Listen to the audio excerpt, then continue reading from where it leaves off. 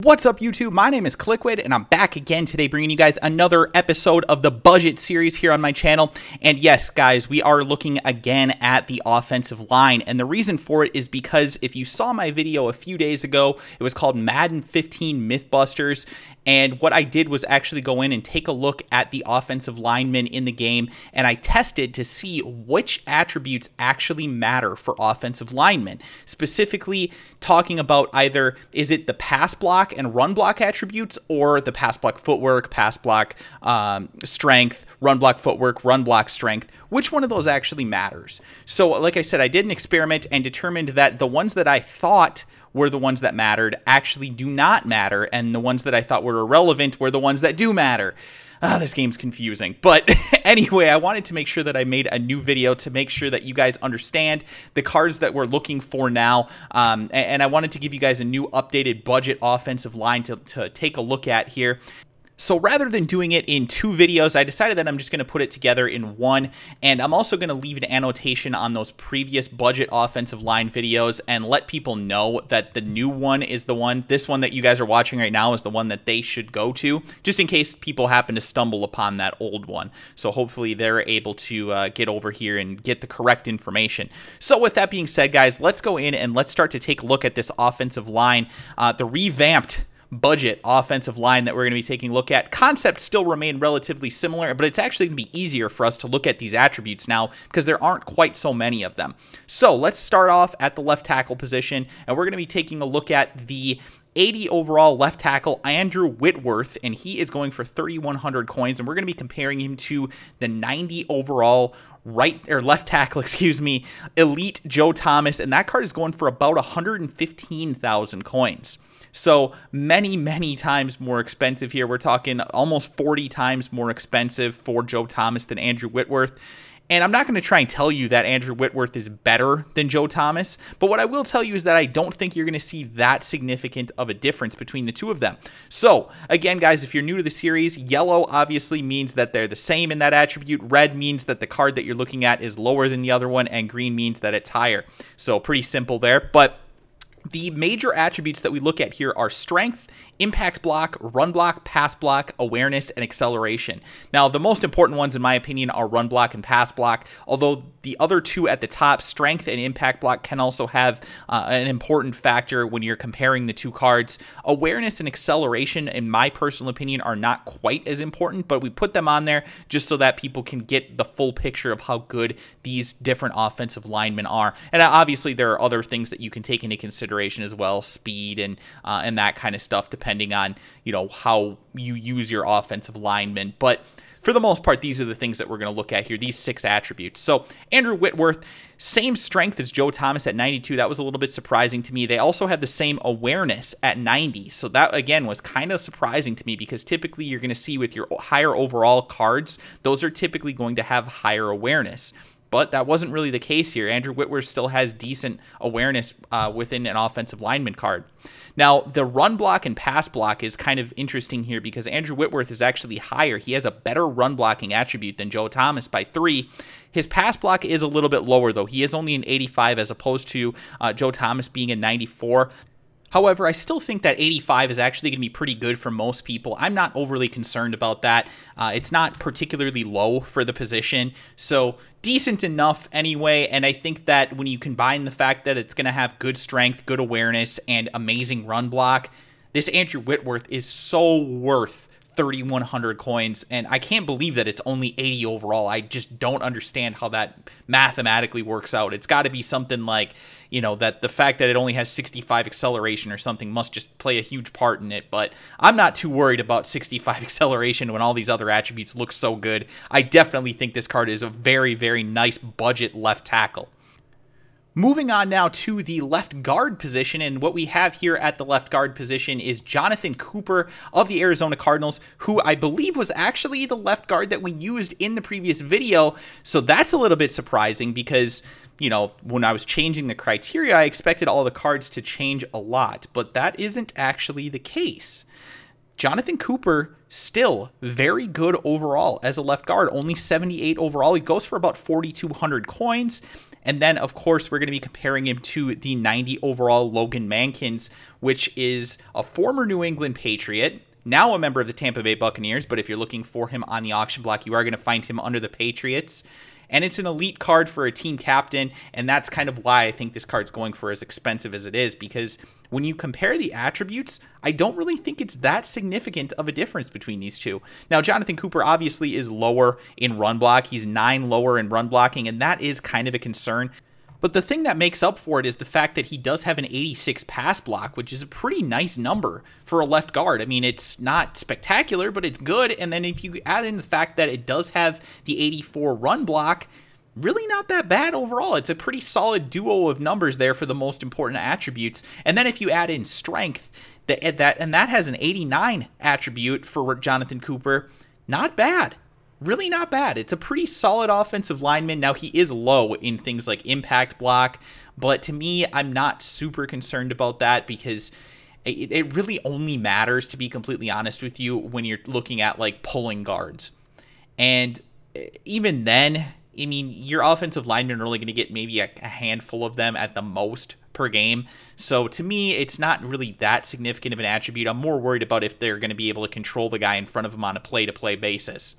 And because of that, it doesn't really bother me that Jonathan Cooper is a little bit lower in that area. Now, another thing that I wanted to point out is that Jonathan Cooper does have high acceleration. 85 acceleration is one of the highest that you're going to find for an offensive lineman. So that was a little bit surprising to me. I, I wouldn't really imagine that he would be that, but, you know, it is what it is. You take the cards for what they're worth. But what I will tell you is that the left guard position is probably the hardest that I found to find quality players at at a budget. So there is going to be a lot of cases where you're going to see people taking left tackles or centers, even right guards, right tackles, and placing them at left guard, just because you can get some more higher attributes out of those positions than maybe you can at left guard. But if you're looking for somebody that's still going to give you those boosts for your chemistries, you need to use the player at the position, and that's why I use Jonathan Cooper. Like like I said, I don't love this card overall, but it does have nice attributes in the area of run block and pass block at 84 and 86. Very, very high for a card that's only going for 4,200 coins. Now, the big thing, the biggest thing I should say that I'm disappointed in in this card is that it only has 63 awareness. Now, I haven't been able to determine in the the little bit of experimenting that I've done that awareness is a massive thing for offensive linemen, but people are insistent that it does matter. So that's why I included on these attributes. And overall, though, like I said, I'm not super interested in their awareness. I mean, it does if it's if I'm comparing cards and they're fairly close to one another, I'll take the one with the high, higher awareness. But if the only real difference between cards is that one has 99 awareness and one has uh, 65 awareness, and they're 50 times difference in, in price, like these cards are, or, or 60 times difference in price, uh, yeah, I'm to take the cheaper one. I'm just to take the cheaper one because, like I said, awareness, I think it does matter, but I think it's a little bit overrated by some people, especially when you're talking about offensive line. On defense, it might matter a little bit more. So let's take a look then at center because that's the next position. And I think that center, you're going to find a very, very nice card here. I think that you could honestly make the case that 85 overall gold Maurkice Pouncey, which is going for 8,500 coins roughly, might actually be better than 90 overall Nick Mangold, New York Jets team captain elite card, which is going for almost 100,000. It's currently around 95,000 on most consoles. So let's compare these two. And, and also, too, I want to point out this is the most expensive of the offensive linemen, but I really wanted to include this card. And I'm really going to encourage you, if you're looking for a budget center, to just do a couple extra solo challenges and pay for this because this card is really, really good. It's really, really good across the board. So, first things first, strength the same between these two 92 92. Impact block, Maurkice Pouncey is actually better. He has a 95 impact block, which is absolutely ridiculous for a card that is only 85 overall overall. That is a super high attribute. Run block and pass block. This was this is actually where I like Maurkice Pouncey better for the most part. Now he does have a little bit lower with the two less in pass block, but he's three higher in run block. So overall, between the two, he's one higher than Nick Mangold. And like I said, those are the attributes that really matter most run block, pass block. Those are the things that I look at first, and then I look at everything else secondarily. So, overall, definitely, like I said, Maurkice Pouncey, very, very nice card. He does have a little bit higher acceleration too with 86 to 85 The where he lags behind is the awareness, but just like I said in the last slide, I'm not that worried about awareness when you're talking about two cards that are fairly similar like these in most of the attributes, I'm going to take the one that's cheaper. I'm going to take the one that has the slightly lower awareness. And 79 isn't atrocious anyway. It's not high, but it's still pretty good. For a center, all they really need to do is just pick up the blitzing middle linebacker if they're coming in, or ta- or hit the guard, or or not guard, hit the defensive tackle and help out the guard, I should say. Uh, and that's really where Maurkice Pouncey, I think, is going to do a good job. He's an excellent blocker up the middle, and you're not going to have a whole lot of problems running the football behind him. For a center, I do look at run blocking more than I look at pass blocking as well. So that's something to consider as well. Next on the list that we have is our right guard position, and this one is amazing. You're going to see a lot of red here on the Larry Warford card on the left-hand side of your screen, but I want you to actually look at the numbers between these two because these these two cards are very very close to one another. First things first that I want to look at run blocking 90 for Larry Warford. And again, like I said, for your interior offensive linemen, I like to have guys that have higher run block numbers because I'm typically going to be running up the middle. And not only that, but your defensive line, they're usually built where you're interior defensive linemen are better at run support than they are pass uh, pass rushing in this game. So I'm not so much worried about their pass blocking, although it's still nice to have a really high pass block number, which Larry Warford does have as well. Uh, but again, uh, the run blocking is the most important thing. So 90 for a run block for Larry Warford, that is an amazing number. Then you go up even a little bit higher. You go to the pass block, and you've got the 95 pass block for Larry Warford. Now, as you can see here, that is actually lower than Jahri Evans on the right hand side of your screen, but Jahri Evans is the most expensive right guard that I could find. As of right now, when I'm recording this video, he is going for 55,000 more coins than the next highest right guard in terms of price. So definitely worth looking at other cards that might have comparable attributes. And that's what this Larry Warford really does.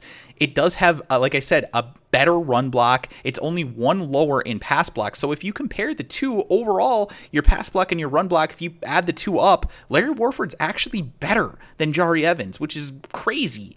Acceleration, they're very close to one another. Larry Warford's only three fewer. Strength, he's still very high at a 90, although Jahri Evans with that 97 is going to be just an absolute monster. But I mean, when you compare these two, like I said, you really have to look at the price difference. 30 times more expensive for Jahri Evans than Larry Warford. And I just don't think you're getting 30 times better of a player. I mean, he's he's just not. There's just no way. So that's why I really think that Larry Warford might actually be, despite the fact that you see all this red on the screen, I think that he might be the best budget offensive lineman in Madden 15 Ultimate Team. Very, very nice card. Get your hands on it if you can. I'm assuming that the price is going to rise on this card over the next couple of days here, at least while this video is first coming out, because people tend to do that. They tend to go and buy these immediately and raise the price on them. You jackasses, try not to do that. Please, just let's keep these cards at least moderately priced. Let's not rise it too much. Then we take a look now at the right tackle position, and this is going to be the last one for today. But I'm going to give you guys a card that I think is a pretty solid one overall. It does have decent awareness, so it actually has the same awareness as Anthony Davis, and that is DeMar Dotson, who is an 84 overall right tackle for the Tampa Bay Buccaneers. He's going for about 4,000 coins, whereas Anthony Davis, the elite 49ers right tackle at 88 overall, is going for about 60,000 coins. So, you know, many, many times, again, more expensive. In this case, 15 times more expensive for Anthony Davis than DeMar Dotson. And again, I just don't think that there's a, a justifiable reason that these should be that much different. Right tackles are going to be, again, primarily focused on pass blocking. And that's why I like DeMar Dotson at, at a 92 pass block versus Anthony Davis being a 90 pass block. Then you look at the run blocking, and DeMar Dotson's still acceptable at an 87. That's still a really nice number. Anthony Davis, of course, one of the best run blocking right tackles in the game at 93. And he does also have 91 strength, so he's a little bit higher than DeMar Dotson there. But then you compare impact block, and DeMar Dotson has an 88 impact block versus uh, Anthony Davis's 86. So I, really think that these cards are a lot more comparable than people would let you think just by looking at the prices of them and the fact that one's a red card and one's a gold card. There's a there's not that big of a difference between these two, and that's why I'm definitely recommending that you guys take a look at DeMar Dotson for your right tackle position.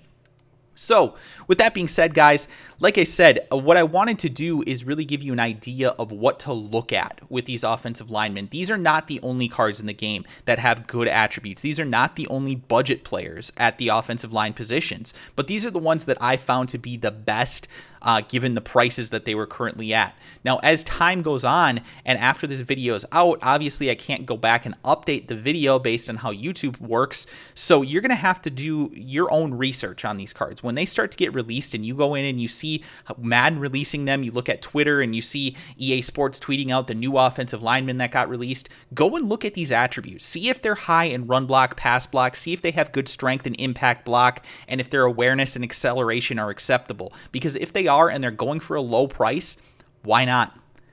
Get them. You know, really just go and pick them up because it's definitely worth it to get guys who are lower priced because, and especially on the offensive line, because you're not using them ever. So who really cares what their overall or anything like that is? You just need them to, you really just need them to perform. So, like I said, when you, when you're saving money on your offensive line, then you can go in and you can afford your better quarterbacks or your better safeties and corners or uh, getting a star wide receiver or a running back. You can do that if you don't spend a ton of coins on your offensive line. And that's really what I'm trying to help you guys do today.